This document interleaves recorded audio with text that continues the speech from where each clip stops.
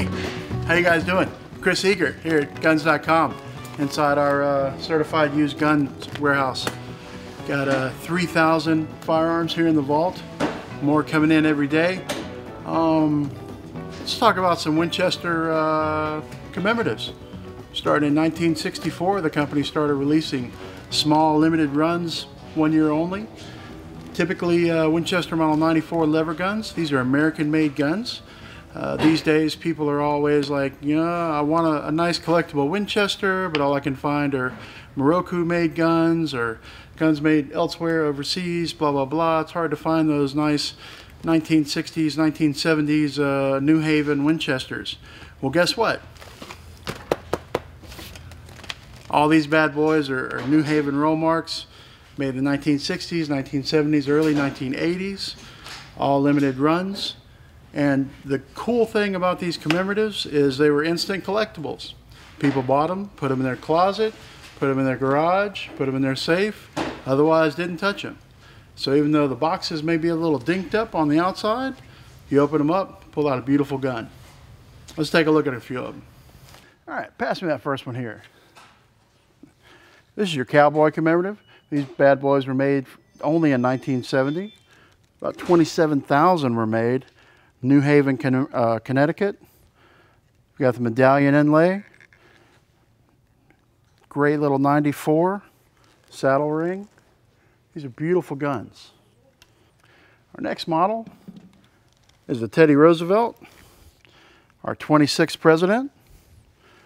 As you see, it's got inlays with TR on it. Nice octagon barrel. This is a 30-30. Saddle ring, all sorts of really nice engravings. It's got the shorter magazine.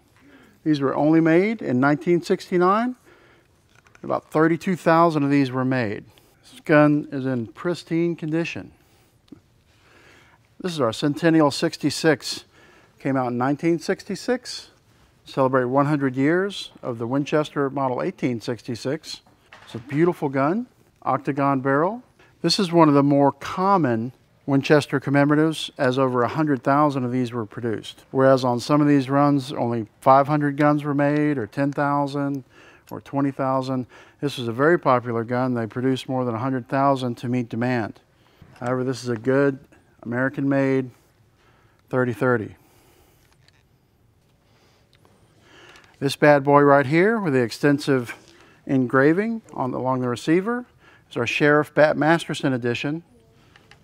This is a rarer gun. Only about 8,000 of these were made. Beautiful model. See the sheriff's inlay. See the stagecoach scenes. The Old West. This is a very desirable Winchester commemorative. Only made in 1979. Next up, we have a Cherokee. Showcases the Trail of Tears. Beautiful gold finish. Model 94. 3030 Cherokee carbine. Notice you have gold on the magazine band, the barrel band, as well as on the magazine end cap. This is one of the more rare commemoratives. Only about 9,000 of these were made. They were only made in 1978. This beauty,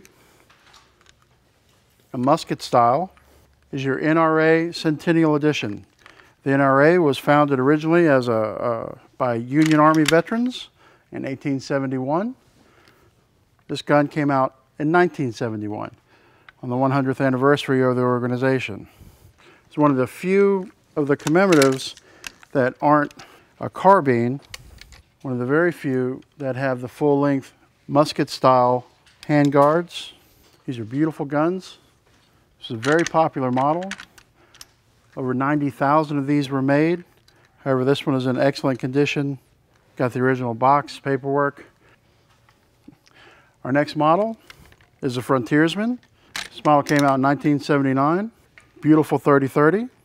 New Haven, Connecticut roll marks. That's your inlay, round barrel. Almost 20,000 of these were made. It's a very popular model. It's not a carbine, it's your full length. These were sold as instant collectibles. Our next model is your Texas Lone Star. Lone Star commemorative. Has the short magazine. For you Longhorn fans, hook 'em horns. This is a must-have. Anybody who's into the Texas lifestyle, Texas way of life, looking for a beautiful 30-30 for the man cave, doesn't get any better than this. Bad boy came out in 1970. Texas Republic was founded in 1845. Some 38,000 of these models were made. The barrel's interesting as it goes from an octagon to a round barrel. Fans of a Duke. Got this big lever, John Wayne commemorative. Beautiful gun, lots of engravings on the receivers. This is not a 3030, this is a 3240. It's got a recreation of John Wayne's signature. Very functional collectible gun. These guns were authorized by the Wayne Estate, produced in 1981 only. Fans of classic westerns, the Duke, excellent piece of Americana. Our final model, got a Buffalo Bill carbine, octagon barrel, saddle ring, that's your straight stock. Beautiful gun. 30-30, light engravings, but it does have a little bit of that Buffalo Bill showmanship to it with a deep finish, your bright furniture cap, bright saddle ring. This is one of the older commemoratives in Winchester series. This gun came out in 1968. Very popular, over 100,000 were made.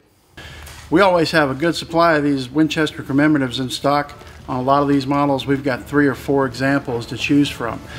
Uh, we've also got other models that we haven't featured. We get them in all the time. It's a pretty staple item that we, we keep here around the uh, vault.